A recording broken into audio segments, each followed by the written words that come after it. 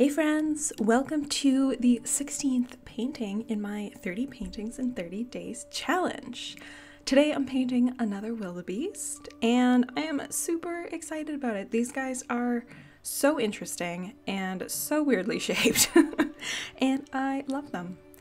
So what I wanted to talk about today is basically why I find working small is helpful.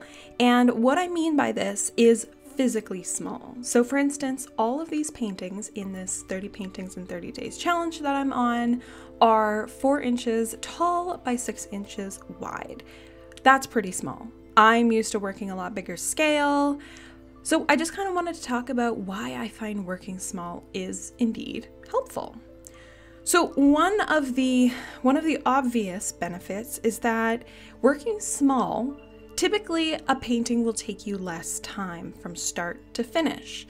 So, by working small, you can go through that entire painting process faster.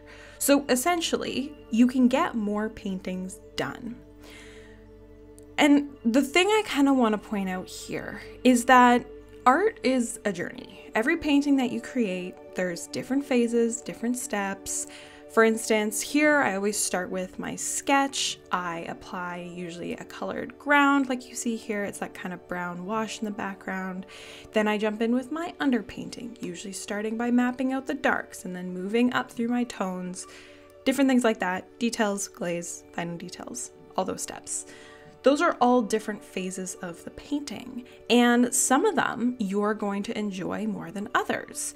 And for those parts of the painting that you don't enjoy as much, you might rush yourself through it, you might, you know, try to avoid it, and as a byproduct, your skill level about, you know, your skill level for doing that level or that specific part of the painting isn't going to be quite as high as the part that you do like. So, say you really, really love detail, but you don't like building up your foundation. So, let's say you rush really quickly through your foundation and then jump right into the details that might not create such a strong painting because you need to spend time on that foundation. So, by working small and getting more paintings done, you can actually force yourself to go through those different parts of the painting process and improve on them.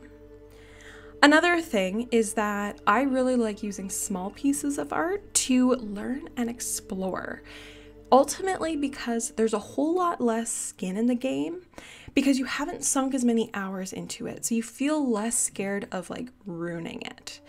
For instance, if you have a really big painting that you're working on and you want to maybe try a new style, you want to try a different colored glaze on top or try some sort of like abstract appeal to it, whatever you want.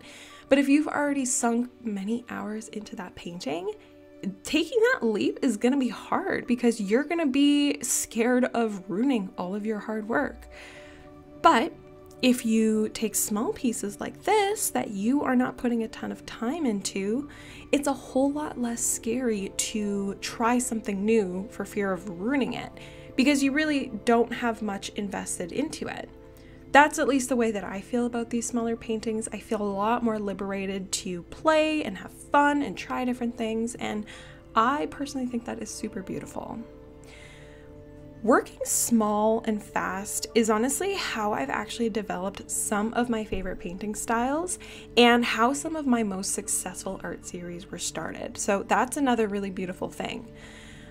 I personally make sure that when I am working small, I'm actually grabbing the largest brushes that I can for that size of painting. So, and I, I say this because I've experienced it myself. Sometimes when you do work small, you're tempted to grab those teeny tiny little brushes, and what ends up happening is that you get really sucked into those details because your mind says, okay, small painting, small brushes, and those small paintings end up taking a lot more time than you think. You're consumed with detail without really building a solid foundation. So, my favorite way to kind of combat this is to still make sure you're using the largest brushes you can. So that brings us to the end of this painting. I really hope that you enjoyed listening and watching, and maybe you'll consider doing some small paintings in order to learn and grow and explore.